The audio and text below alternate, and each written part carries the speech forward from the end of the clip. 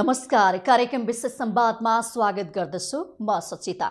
विशेष संवादमा आज हामी जापानी परिकार भनेर सुशीलाई लिने गर्छौँ तर एकजना नेपाली व्यवसायीले जापानी परिकारलाई जर्मनीमा व्यावसायिक रूपमा व्यवसाय गर्दै आउनु भएको छ। उहाँले जापानिज परिकार सुशीलाई जर्मनीमा बसेर सुसी किङ भनेर आफ्नो परिचय पनि दिन सफल हुनुभएको छ। सँगसँगै सुसी यति बेला विश्वका मानिसहरूले रुचाएका छन्।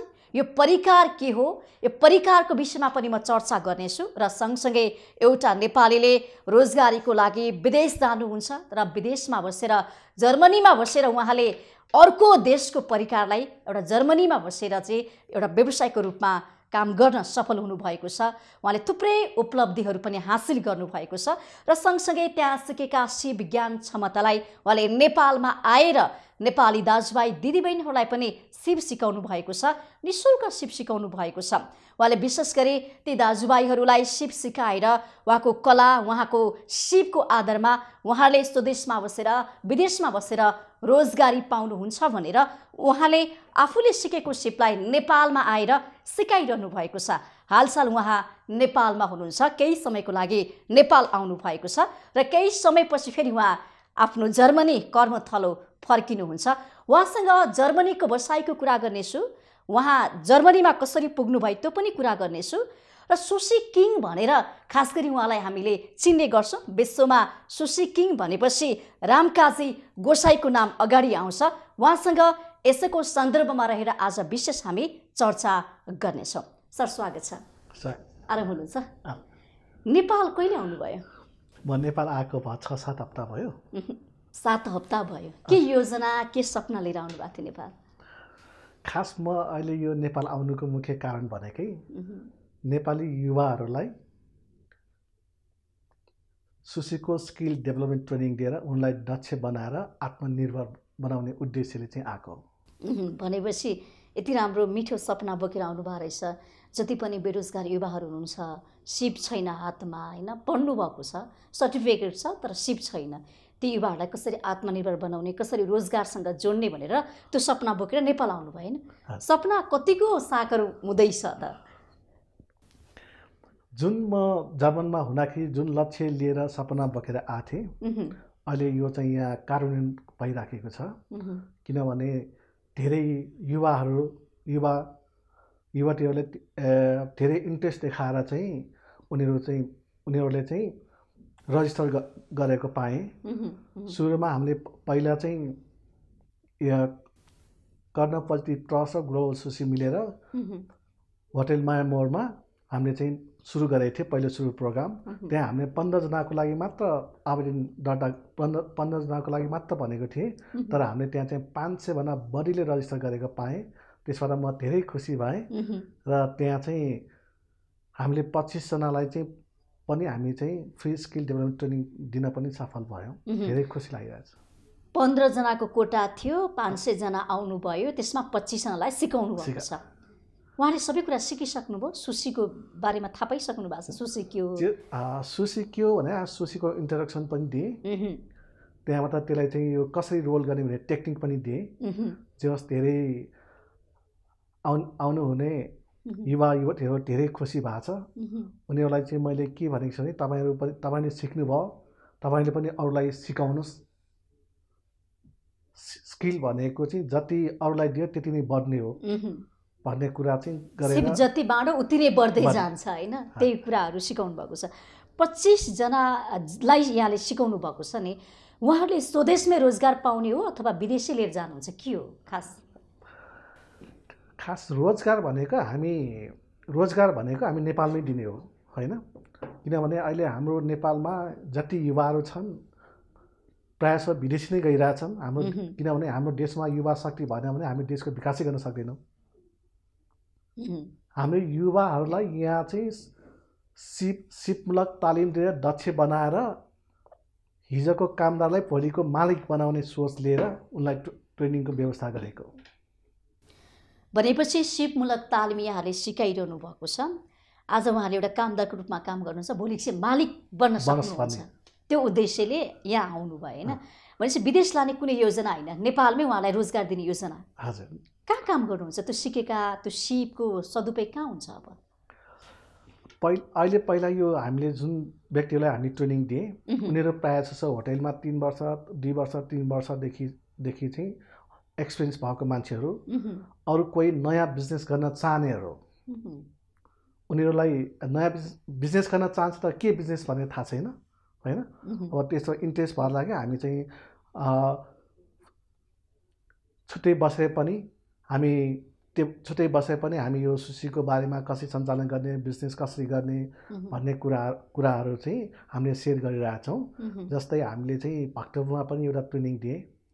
जुन अब त्यो भक्तपुरको एउटा चाहिँ पिकअप गेस्ट हाउस छ। उहुँ, उहाँले पनि अब सुसी राख्ने धेरै इन्ट्रेस्ट गर्नुभयो।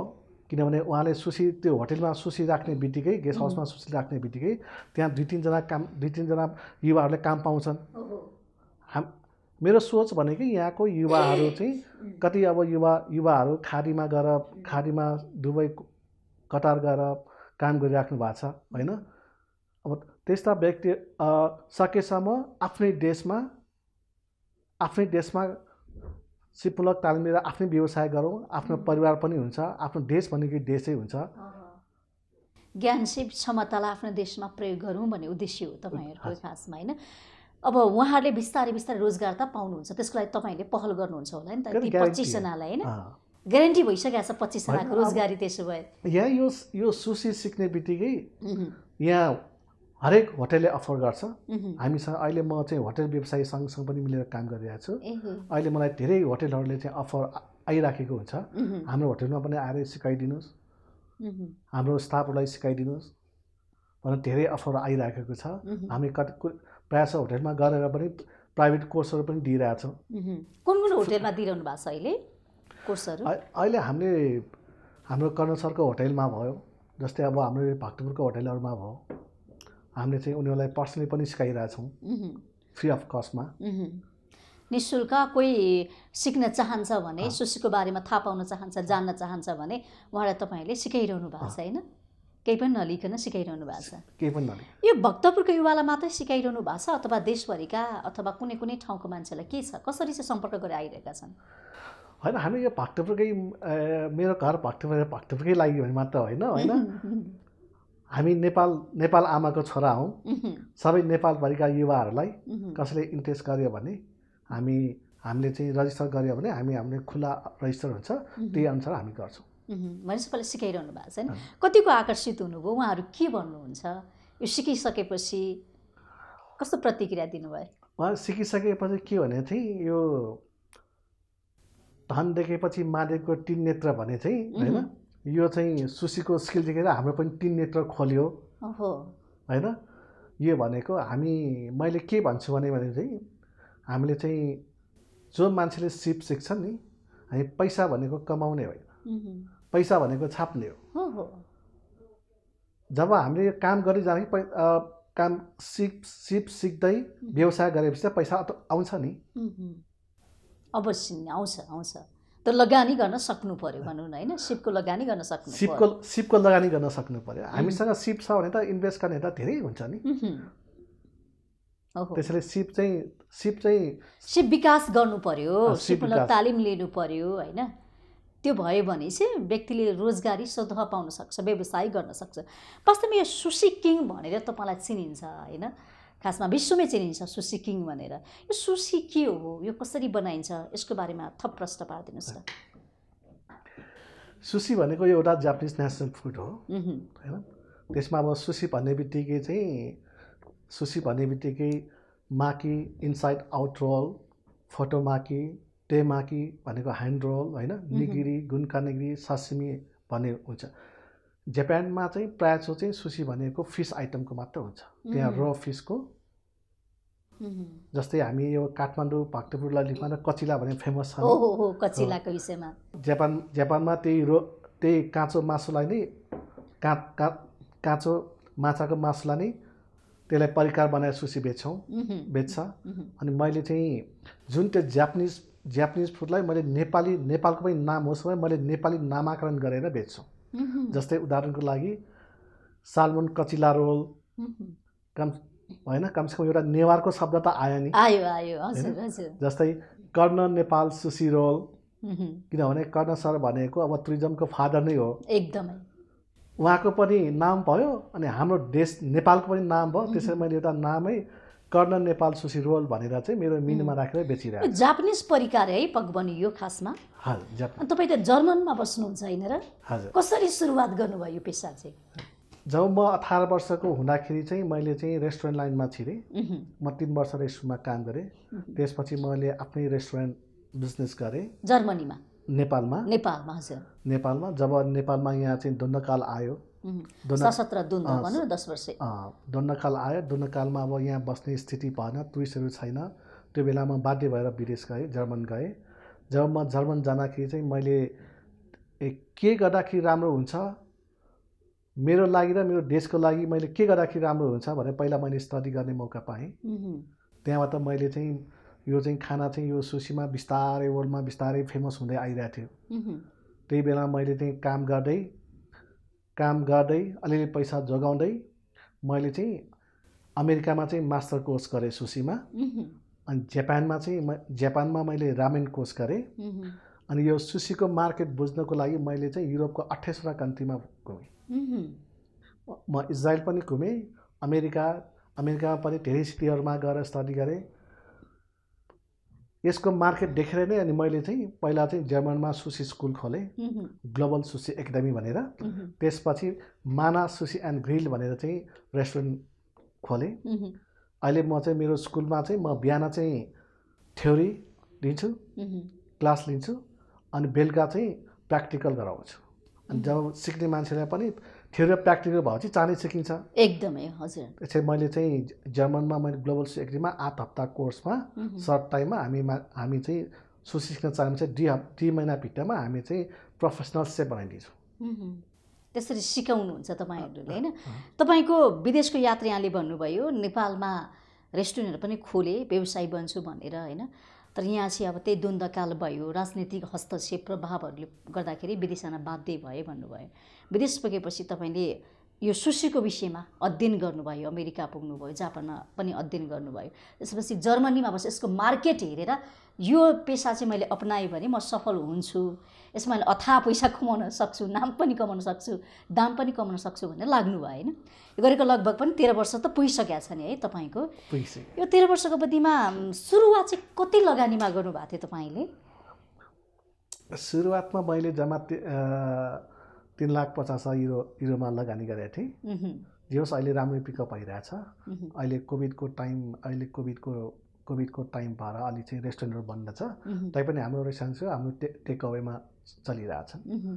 सुसी चाहिँ वास्तवमा जर्मनीले मात्रै मन पराउँछ अथवा जर्मनीमा बसोबास गर्ने नेपालीले मन पराउने हो कि अब यो जापानिज परिकार भनेर चिनिन्छ सुसीलाई होइन? खास कस कसले मन पराउँछन्? के छ? अहिले जापानिज अहिले यो जापानिज परिकारको फुडहरू अहिले वर्ल्डमा प्रायः धेरै हरेक देशको युवा युवतीहरूले मन पराउँछ। किन भन्दाखेरि चाहिँ अब अहिले अरे हरेक हरेक देशको मान्छेहरूको इकोनोमिक स्ट्याटस बढ्दैछ भनौँ भने पहिला पन्ध्र बिस वर्ष अगाडि मान्छेहरूले चाहिँ। पेटको लागि मात्र खान्छ पेट भरे पुग्छ। उनीहरू पेटको मात्रै खान्छ। त अहिलेको समय यस्तो यसरी चेन्ज भयो कि मान्छेहरू चाहिँ अहिले म कसरी हेल्थ बन्ने म कसो स्लिम बने? म कसो स्वस्थ बने? म लामो समयसम्म कसरी बाँच्ने? अनि अहिले त्यो मान्छेहरूले स्टडी गर्न थाल्यो। मान्छेको पैसा मान्छेसँग अब पैसा हुन थाल्यो। हरेक पैसा मान्छे पैसा चाहिँ म स्वस्थ कसरी हुने अब मान्छे स्टडी गर्दै गऱ्यो अब यो सुसी भने सुसी भनेको यसमा फ्याट पनि हुँदैन। अब यसमा चाहिँ माछाको फाइदा छ त्यसो भए।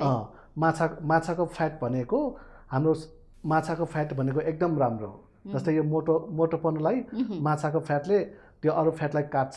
त्यसरी जापानिजहरू स्लिम हुने कारण नै त्यही हो। जापानिजहरू चाहिँ लामो समयसम्म बस्ने कारण नै त्यही हो। धेरै जसो मान्छेहरूले यो खाने खाने उसमा पनि जापानिजसँग जापानिजहरूसँग चाहिँ उनीहरूको खानाको परि परिकारलाई उनीहरूले लिँदैछ भन् भनौँ न। कति प्रकारको हुन्छ यो सुसी अब यो सुसी भनेको अब यति प्रकारकै हुन्छ भनेर भन्न सकिँदैन। एउटा कुकको हातमा हुन्छ। एउटा कुकको हातमा चाहिँ उसले अगाडि कति थरीको फिस देख्यो कति थरीको गेमुजे देख्यो कति थरीको मिटहरू देख्यो उसले एउटा कुकसँग हरेक सामानको एउटा हरेक खाना डिस तयार पार्ने उनीहरूसँग खुबी हुन्छ। जस्तै भर्खर तपाईँकै शब्द तपाईँको भाषामा सुन्यो भने कति प्रकार हुन्छ भने त्यसको सीमितै हुँदैन। जस्तै हामी चाहिँ यो संसारमा जति प्रकारका माछाहरू छौँ त्यति प्रकारका हामी सुसीमा हिँड्न सक्छौँ। जति प्रकारका मिटहरू छन् त्यति प्रकार बनाउन सक्छौँ। अह। त्यही एउटा चिकनलाई मासु बनाउन सक्छौँ रोस्ट बनाउन सक्छौँ त फरक फरक परिकारमा हामी बनाउन सक्छौँ होइन? यो सुसीमा विशेष गरी नेपाली मसला हालिन्छ बनाइन्छ भन्छन् के हो खास? यो चाहिँ मसला हाल्न कुन रोलमा हाल सबैमा त हालिँदैन। जस्तै मैले चाहिँ मैले जर्मनमा चाहिँ मैले चाहिँ सालमन कचिला भनेर हालेँ। होइन? किनभने काचिला भनेको अब ने नेवारहरूको फुड हो। त्यसलाई यो त्यो देश त्यो देशको जनताको जिब्रोमा मिल्ने मसलाहरू। हामी चाहिँ छानी छानी टेस्ट गरेर त्यसमा यो प्रयोग गर्छौँ र। त्यहाँको मान्छेले धेरैले मन मन पराएको छ। यो मसला त्यति टेस्ट पनि छ त्यसो भए। मन पराउनु भएको छ होइन? सुसीमा हाली यो मसला चाहिँ मन पराएर खानु भएको छ त्यसो भए। नेपालीहरूको रोजाइमा चाहिँ कतिको परेको छ यो सुसी कतिको जानकार छन् नेपालीहरू? नेपाली अहिले प्रायः जस्तो अहिले जति यो विदेशमा बसेको नेपालीहरू पनि उनीहरूलाई पनि बानी लागिसकेको छ अहिले। सुसी खाने बानी लागिसकेको छ। जस्तै अब चाहिँ अहिले मैले चाहिँ यो जापानिज ट्रेडिसनल मात्र सुसी बनाउने होइन मैले मोडर्न सुसी बनाउँछु। जस्तै अब सुसी भन्ने बित्तिकै मान्छेले सोध्छ यो चाहिँ काँचो माछाको परिकार हो भनेर। अनि मैले चाहिँ हाँसको रोल बनाइदिने चिकनको रोल बनाइदिने जस्तै अब भेज भेजिटेरियनहरूको लागि मैले भेजिटेबल टेम्पुराको रोल बनाइदिने स्पार्गलको बनाइदिने। अनि चाहिँ मेरो अनि मेरो उसमा चाहिँ हरेक थरीको जस्तो बच्चादेखि बुढोसम्म आउनेहरूको लागि हामी परिकार परिकार बनाइदिन्छौँ कतिको महँगो हुन्छ यो सुसी खानको लागि? के छ? अन्य परिकार यसमा फरक चाहिँ के छ? अब यो चाहिँ माछा महँगो भएको हुनाले माछा चाहिँ हामी चाहिँ माछाको परिकार बनाउँछौँ। सबभन्दा चाहिँ महँगो भनेको मैले चाहिँ यसले फिफ्टी नाइन युरोमा बेच्छु। मैले चाहिँ नामै मेरो गोसाइँ खानदान भनेर चाहिँ गोसाइँ खानदान भनेर एक एकजना खानेको चाहिँ फिफ्टी नाइन युरो बनाएको छु। अनि लब्स्टर रोल भनेको पच्चिस रुपियाँमा बेच्छौँ। अनि हामीले यो कर्ण नेपाल सुसी रोल भनेर मैले तेइस रुपियाँमा बेच्छौँ। एउटा रोलको। धेरै कमाइ हुँदो रहेछ त। जे होस् पुग्छ। कमाइ राम्रै छ त्यसो भए होइन? छ। विदेशमा बसेर राम्रैसँग व्यवसाय गरिरहनु भएको छ होइन? यो दिनमा कति आउनुहुन्छ मानिसहरू यो सुसी खानको लागि? के छ? मेरो रेस्टुरेन्टमा चाहिँ सत्तरी असीजनाको क्यापेसिटी छ। क्षमताभन्दा बढी नै आउनुहुन्छ जे होस् त्यहाँ चाहिँ मान्छेहरू चाहिँ हामी चाहिँ एउटा कसैले टेबल बुक गऱ्यो भने हामी चाहिँ डेढ घन्टाको टाइम दिन्छौँ। उहुँ। र प्रायः जस्तो चाहिँ हाम्रोमा चाहिँ एक दुई महिना पहिलेदेखि बुक गरिराखेको हुन्छ। सुसी खानको लागि। सुसी खानको लागि। त्यति भिडभाड हुन्छ है। झन् मान्छेहरू त कोही जर्मनमा मात्रै पाइने हो कि अन्ठामा पनि पाइन्छ होला पाइन्छ। पाइन्छ तर विशेष किन तपाईँकै तपाईँले बनाएकै त्यो सुसी खान मान्छेहरू आतुर हुन्छ? कारण के हो? के हो? कारण किन भन्दाखेरि चाहिँ जस्तै मेरो एरियामा चाहिँ अरू दस बाह्रवटा रेस्टुरेन्टहरू छन् सुसी। तर चाहिँ मेरो मैले त अब मास्टर कोर्स गरेँ। मेरो क्रियास नै अर्को छ क्रिएटिभ नै अर्को छ। जुन जहाँ मेरो रेस्टमा एकचोटि सुसी खान गएपछि उनीहरू उनीहरू चाहिँ अन्त जाँदैन। एकचोटि आएपछि बरु उनीहरू लाइन लाग्छ। एक डेढ घन्टासम्म कुर्छ। उनीहरूले के मेरो कस्टमरले के भन्छ भने चाहिँ you are Susi king you are best Susi I never before I never it भन्थे कि। अनि चाहिँ उनीहरूले नै मलाई चाहिँ सुसी किङ भनेर त्यहाँको ग्राहकहरूले नै उपाधि दिए कि नामै। त्यसरी प्राप्त गर्नुभएको यो उपाधि यो हजुर। सुसी किङ भनेर। ग्राहकहरूले चाहिँ त्यहाँ तपाईँले बनाउनुको सुसी मन पराएर पटक पटक आइसकेपछि चाहिँ तपाईँको नामै उहाँहरूले राखिदिनु भयो सुसी किङ भनेर। त्यसरी रहन गयो। तपाईँलाई चाहिँ कस्तो लाग्छ सुसी किङ भनेर चिनिँदाखेरि तपाईँको अनुभव सुनौ न। जे हामी नेपाली नेपाली व्यक्ति जर्मनमा गएर अर्काको देशमा गरेर गएर दुःख मिहिनेत गरेर अर्काको देशमा होइन आफ्नो कम्पनी खोलेर रेस्टुरेन्ट खोलेर जस्तै सुसी किङ भनेर भनाउन सक्नु पनि ठुलो गर्वको कुरा हो। त्यो उपलब्धि हो जिन्दगीकै है। जिन्दगी हो। तपाईँलाई त्यो यो दिन आउला भनेर सोच्नु भएको थियो। एउटा सानो झोला बोकेर हिँडेको होइन गोसाई रामकाजी गोसाई। भोलि म सुसी किङ हुँ हुँला भन्ने चिन्छु भने त्यो त्यो नाम कमाउला भन्ने थियो। होइन त्यसो मैले सोचेको पनि थिएन। सोच्नु भएको थिएन है। म चाहिँ पहिला सोचेँ म अब जर्मन जान्छु। जर्मन गएर अलिअलि पैसा कमाएर आफ्नो देशमा आउँछु भने खास त्यो चाहिँ मात्र सोच। थियो त्यहाँ चाहिँ के सिप सिक्ने एउटा सिप सिकेर हाम्रो देशमै युज युज गरौँ भनेर चाहिँ सो सोचले गएको थिएँ। अब त्यहाँ गएपछि पैसा पनि कमाइन्छ सिप पनि सिकिन्छ। अनि हाम्रो देशमा युज गर्न पाउँछ भनेर सोचेको थियो। अब देशको राजनीतिक अवस्था यस्तै हो। त्यही भएर पनि लामो समय बसियो। जे होस् अब भविष्यमा चाहिँ अब नेपालमै के गर्ने सोचले अहिले अहिले यहाँ यो फ्री स्किल डेभलपमेन्ट ट्रेनिङ दिएर यहाँको मार्केट कस्तो छ बुझ्दै यहाँको यहाँको युवा युवतीहरूले कतिको मन पराउँछ। जे होस् स्टडी स्टडी गर्ने मौका पनि पायो। जे होस् भविष्यमा चाहिँ हुन्छ यहाँ तपाईँ खुसी हुनुहुन्छ त्यसो भए सुसी किङ भनेर विश्वमा आफ्नो भनौँ यो उपाधि पाउनुभएको छ परिचय पाउनुभएको छ। खुसी हुनुहुन्छ है त्यसो भए। खुसी नै यो लाग्छ सफलता नै हो है। एउटा नेपाली ठिटो होइन एउटा विदेशमा बसेर सुसी किङ भनेर त्यो त एउटा राम्रै हुने। राम्रै हो किनभने अर्काको देशमा गएर प्रभुत्व जमाउनलाई पनि त्यति सजिलो छैन। त्यही त प्रतिस्पर्धा हुन्छ चुनौती हुन्छ धेरै नियम कानुन हुन्छ गाह्रो छ नि नेपालीलाई अवसर सम्भावना दिँदैन नि त त्यहाँ काम गर्ने मान्छेलाई पनि त। अब एक त अब हामी नेपालीहरूलाई चाहिँ विदेशमा जस्तै यो युरोप अमेरिका क्यानाडा छिर्नलाई जति गाह्रो छ नि त्योभन्दा त्यहाँ चाहिँ स्ट्रगल स्ट्रगल गरेर त्यहाँ त्यहाँ म्यानेज हुनलाई गाह्रो छ। अब त्यसको दुःख कष्ट चाहिँ जसले चाहिँ भोग्न सक्छ सहन सक्छ ऊ सफल हुन्छ जो भोग्न सक्दैन ऊ असफल हुन्छ। हस्। यति बेला कार्यक्रम विशेष संवादमा पालो भएको छ। विश्रामको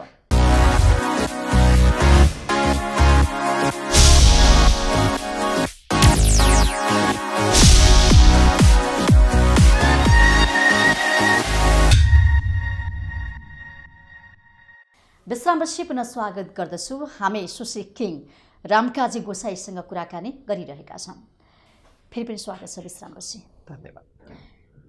सुसी किङ भनेर नाम कमाउनु भयो दाम कमाउनु भयो सिप पनि आर्जन गर्नुभएको छ तपाईँले। सोचेअनुसार काम पनि भइरहेको छ होइन? अहिले तपाईँ नेपालमा हुनुहुन्छ। नेपालमा एउटा सपना बोकेर आउनुभएको छ। म जस्तै युवाहरूले पैसा कमाउन् नाम कमाउन् दुःख नहोस् रोजगारी पाओस् होइन? देशमै के गरोस् भनेर त्यो विचार त्यो सोच त्यो भावना त्यो सिप कला बोकेर आउनुभएको छ। पच्चिसजनाले पनि सिकिसक्नुभयो। अब स्वदेशमै रोजगारी पाउने सम्भावना पनि बढिसकेको छ होइन? तपाईँ अब कहिले फर्किनुहुन्छ त? अब म चाहिँ म चाहिँ अब चाँडै फर्किँदैछु। किनभने चाहिँ मैले त यहाँ यहाँको युवाहरूलाई चाहिँ म चाहिँ एउटा सकारात्मक सोच अभियानमा लाग्ने अभियन्ता पनि हो। यहाँको युवाहरूलाई सोच खोज गर। अनि म सक्छु भन्ने चाहिँ होइन। आत्मविश्वास। आत्मविश्वास पनि किनभने त्यो किताब चाहिँ मैले पढेर होइन अरूले किनभने त्यो किताब पढेपछि मा मान्छेलाई चाहिँ म गर्न सक्छु भन्ने आँट हिम्मतहरू आउँछ। यसको लेखक कर्ण कर्ण साके सर हुनुहुन्छ होइन? युवाहरूलाई त्यो किताब पनि पढ्नुहोस् यो यो सुसी पनि सिक्नुहोस् मसँग थोरै टाइम भएको हुनाले म थोरै टाइम हुन्थ्यो म आइहालेँ। अब छिटै अब छिटै फर्किन्छु। कहिले कति पटक आउनुहुन्छ नेपालमा खास गरी तपाईँ? म प्रायः जस्तो हरेक वर्ष आइराखेको हुन्छ। हरेक वर्षमा म केही न केही प्रोग्रामहरू प्रोग्रामहरू चाहिँ ल्याएकै हुन्छु। किनभने म पहिला आउँदाखेरि पनि मैले ए कर्ण सरको होटेलमा दुई चारजनालाई चाहिँ मैले सुसी सिकाएको थिएँ। त्यहाँ उनीहरूले सुसी बनाएर बेचिराख्नु भएको छ। अहिले काम गरिरहनु काम गरिराख्नु? भएको छ। जे होस् उनीहरूको त्यो स्किल उनीहरूले स्किल सिकेर उनीहरूले आफ्नो व्यवसाय गरिराख्नु भएको छ। गरिरहनु भएको छ। अब यहाँ पच्चिसजनाले पनि गर्नुहुन्छ है? अस्ति पच्चिसजना गरेँ त्यसपछि फेरि भक्तुमा पनि उन्नाइसजनालाई दिएँ। अब जे होस् उनीहरूले चाहिँ कति उसले चाहिँ मलाई यो सिप सिकेर मलाई धेरै खुसी लाग्यो। अब मलाई केही गर्ने आँट आयो अब म गर्छु। म पहिला चाहिँ अब यो यो चाहिँ कतिवटा रोलदेखि सुरु गर्छु भनेर चाहिँ भन्छन्। सिक्न आउने जस्तो तपाईँले एउटा स्कुल एकाडेमी पनि खोल्नु भएको छ सुसी एकाडेमी यो कहिले सञ्च सुरुवात भयो यसको स्थापना कसरी भयो त्यो पनि बताइदिनुहोस् न। यो चाहिँ सुसी स्कुल चाहिँ मैले दुई हजार पन्ध्र पन्ध्र साल जुन एक तारिकमा सुरु गरेको थिएँ। किनभने म पहिला एउटा चाहिँ फाइभ स्टारमा होटेलमा काम गर्थेँ। जर्मनमै? जर्मनमै। अह। फाइभ स्टार होटेलमा काम गर्थेँ। त्यहाँ हुँदाखेरि मेरो कमाइ राम्रै हुन्थ्यो। महिनाको पाँच लाख जति हुन्थ्यो। पाँच लाख कमाउनुहुन्थ्यो एउटा युवाले? त्यहाँ चाहिँ हाम्रो चाहिँ हामीलाई चाहिँ फेरि त्यहाँ चाहिँ उन्नाइस पर्सेन्ट ट्याक्स दिनुपर्छ जर्मनमा। अनि मैले चाहिँ कति अर्काको अर्काको गर्नु भन्दा आफ्नो के गर्नु राम्रो हुन्छ भनेर चाहिँ किनभने मसँग सबै सिपहरू थिए मैले सबै मास्टर कोर्स गरिसकेँ सबै स्टडी गरेको थिएँ। मैले जापान जापानमा गएर स्टडी गरेँ अमेरिकामा गएर स्टडी गरेँ स्टडी गरेँ इजरायलमा गएर स्टडी गरेँ युरोपको प्रायः धेरै धेरै जसो कन्ट्रीमा गएर चाहिँ स्टडी गरेँ। मैले आफूले जानेको सिप आफैले बिजनेस गरेर अरूले पनि गरोस् भन्न चाहन्थेँ। त्यही चाहना अनुसार अगाडि बढ्नु भएको छ होइन? यो खास उद्देश्य चाहिँ के थियो यो स्कुल खोल्नुको उद्देश्य त पछाडि हुन्छ होला नि त? यो उद्देश्य खोल्नु भनेकै यो खोल्नुको उद्देश्य भनेकै हाम्रो देशमा मात्र होइन यो युरोपमा पनि धेरै मान्छेहरू चाहिँ सिप छैनन्। अब सिप नभएपछि तलस्टोको काम गर्नुपर्ने हुन्छ। मैले युरोपमा पनि अब युरोपमा पनि युरोपियनहरूले पनि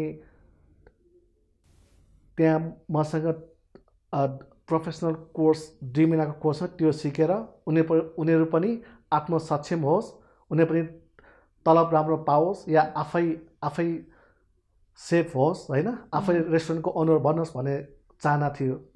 किनभने यो चाहिँ सिप त मैले त मैले त अमेरिकामा गएर त सिकेँ। अब मैले जानेको सिपलाई मैले अरू अरूलाई सिकाउँदाखेरि झन् राम्रो हुने भयो। किनभने उनीहरू पनि आत्मसक्षम हुने भयो। हुने भयो। रोजगारी पाउने रो- बेरोजगारहरू बस्नु परेन होइन? त्यही उद्देश्य लिएर खोलेको। उद्देश्य पुरा भयो त? के छ? अब अब उद्देश्य त पुरा भइरहेछ। किनभने अहिले म नेपाल आउनुभन्दा अगाडि पनि मैले त्यहाँको जर्मनीहरू चाहिँ तिनजनालाई चाहिँ प्रोफेसनल कोर्स दिएर आएको हो। तर अहिले अहिले जर्मनमा लकडाउन छ। अब त्यहाँ चाहिँ रजिस्टर गरेको मान्छेहरू चाहिँ धेरै छ। अहिले जर्मन गभर्मेन्टले अहिले अनुमति दिएको छैन। लकडाउनको प्रभावमा परेको छ है त्यसो भए अहिले व्यापार व्यवसायहरू? अहिले लक त्यस्तै परेको छ। तैपनि खास युरोपमा त्यति समस्या चाहिँ हुँदैन लकडाउन गरे पनि। किनभने त्यहाँ चाहिँ गभर्मेन्टले सपोर्ट गर्छ। भनेपछि लकडाउनमा पनि सुसी खान आउनुहुन्छ है मान्छेहरू? त्यही अहिले त्यही खाना चाहिँ खाना चाहिँ पाउँदैन तर टेक अवे लिएर चाहिँ जान पाउँछ। लिन चाहिँ जानु पाउनुहुन्छ लिन चाहिँ आउनुहुन्छ जे त्यहाँ भएका मानिसले रोजगारी गुमाउनु परेको छैन त्यसो भए। छैन त्यहाँ चाहिँ युरोपमा कस्तो सिस्टम छ भने अब त्यहाँ कामदारहरूलाई पनि गभर्मेन्टले सिक्सटी पर्सेन्ट दिन्छ। रोजगार ग्यारे सुरक्षित छ क्या सुरक्षित छ। नेपाल जस्तो होइन। होइन। नेपालमा त कसैको रोजगार ग्यारेन्टी छैन कि सरकारी जागिर खानु पर्यो। यस्ता विपत्ति आउँदाखेरि त जागिर सङ्कटमा परेको छ नि त नेपालमा त। नेपालमा छ त यहाँ सिस्टम नभएर मात्र हो। अब जर्मनमा त गभर्मेन्टले कामदारहरूलाई पनि सिक्स पर्सेन्ट दिन्छ थर्टी फोर्टी पर्सेन्ट हामीले दिने हो। अनि फेरि अब हामीले पनि कुनै ठुल्ठुलो व्यवसाय गर्नेहरूलाई चाहिँ गाह्रो परेको खण्डमा गाह्रो प गाह्रो पऱ्यो भने चाहिँ।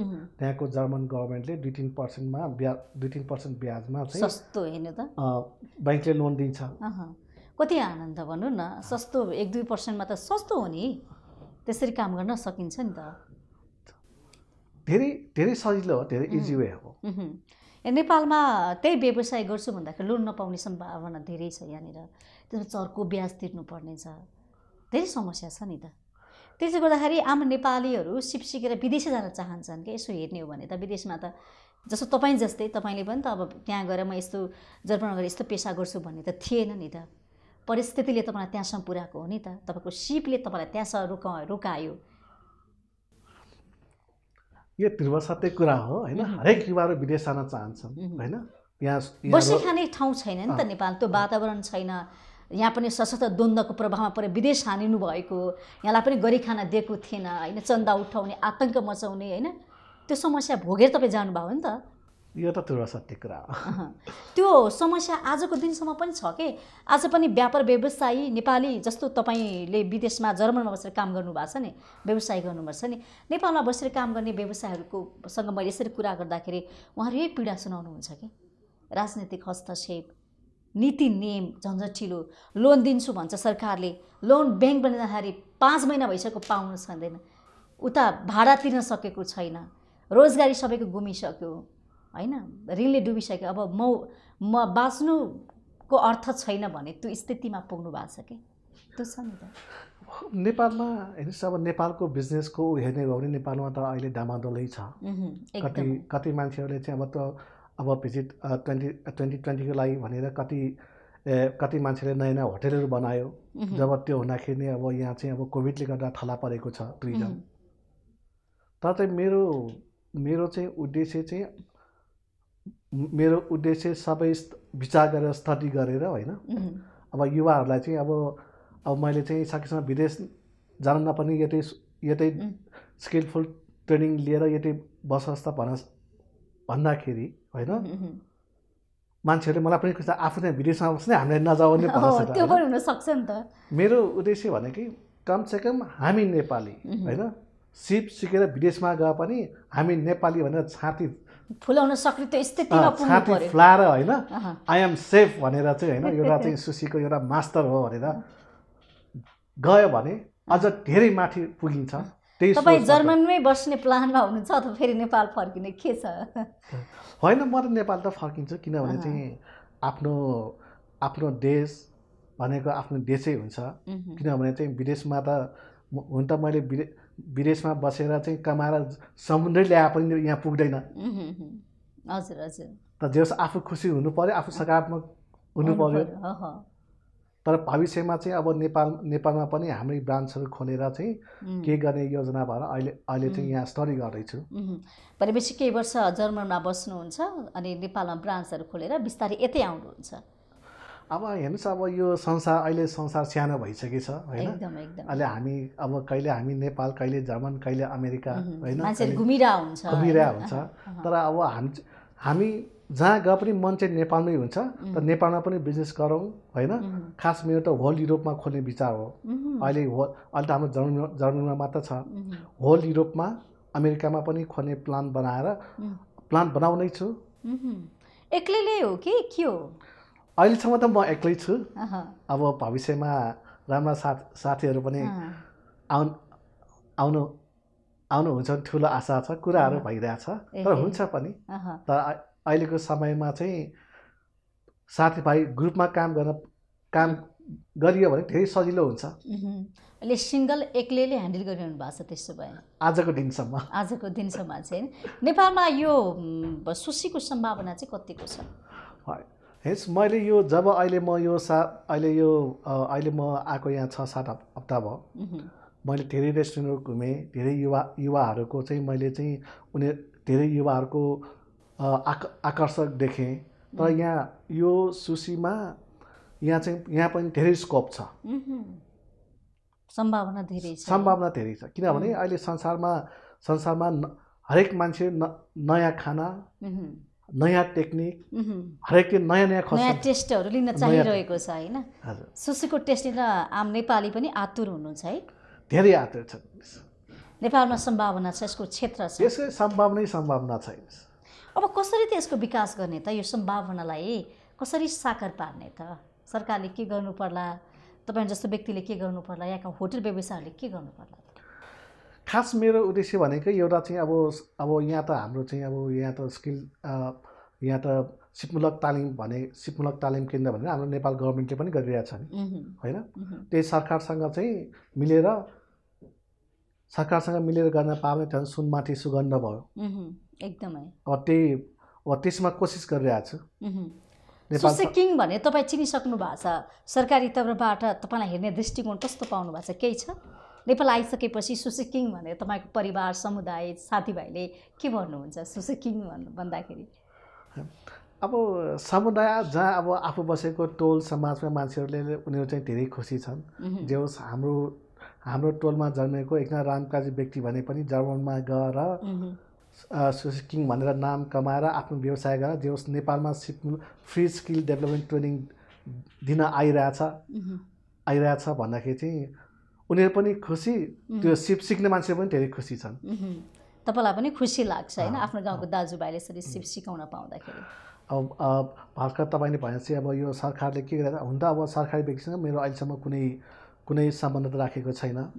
तर अहिले सोचिरहेको छु यहाँ नेपाल गभर्मेन्टसँगै मिलेर तपाईँ जस्तो व्यक्तिलाई त प्रोत्साहन गर्नु पर्यो नि त सरकारले प्रमोट गर्नु पर्यो। एउटा नेपाली युवाले हिजो सानो झोला बोकेर विदेश गएको एउटा युवाले एउटा जर्मनमा आफ्नो नाम नेपालको नाम राख्न सफल भएको छ नि त। यसमा सरकारको ध्यान त जानुपर्छ। होइन र? अब जानुपर्ने हो। अब यहाँ चाहिँ अब हाम्रो सरकार अब हाम्रो स- सक हामीले यो गर्न चाहन्छु भनेर मैले खास अहिलेसम्म गरेको पनि छैन। यो दुई चार दिन अगाडि मैले एउटा चाहिँ सिपको तालिममा मैले कुरा राखेको छु। उनीहरू पोजिटिभ पोजिटिभमै छन्।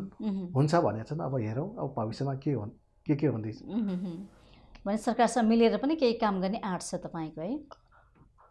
त्यही सोचमा छौँ किनभने नेपाल आफ्नो नेपाल आमा भनेको अब नेपाल आमा भनेको हामी त नेपाल आमाको पुत्र हौँ। एकदम एकदमै। विदेशमा गइसकेपछि आफ्नो देशको माया म अझ बढी बढ्छ भन्छ नि हो वास्तवमा। यस्तो नेपालमा बस्ने नेपालीलाई आफ्नो राष्ट्र राष्ट्रियताप्रतिको जुन प्रेम त होला उसले त्यो अभिव्यक्त गर्दैन।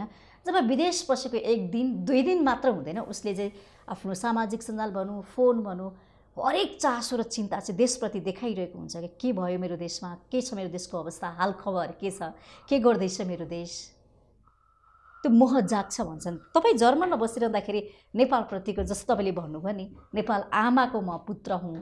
मैले केही गर्नुपर्छ भने जुन अठोट बोक्नु भएको छ नि।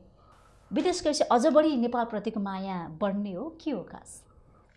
खास के हो भन्दाखेरि होइन हामी चाहिँ म अर्को त म भन्न सक्दिनँ आफ्नो भाव मेरो होइन? मनस्थिति विदेश पुगिसकेपछिको मनस्थिति कस्तो होइन? मेरो मेरो दिमाग मनमा के छ भने म यो देशको हावा माटोमा हुर्के यो जमिनबाट उत्पत्ति भएको अन्न। खाएर म ठुलो भएँ होइन?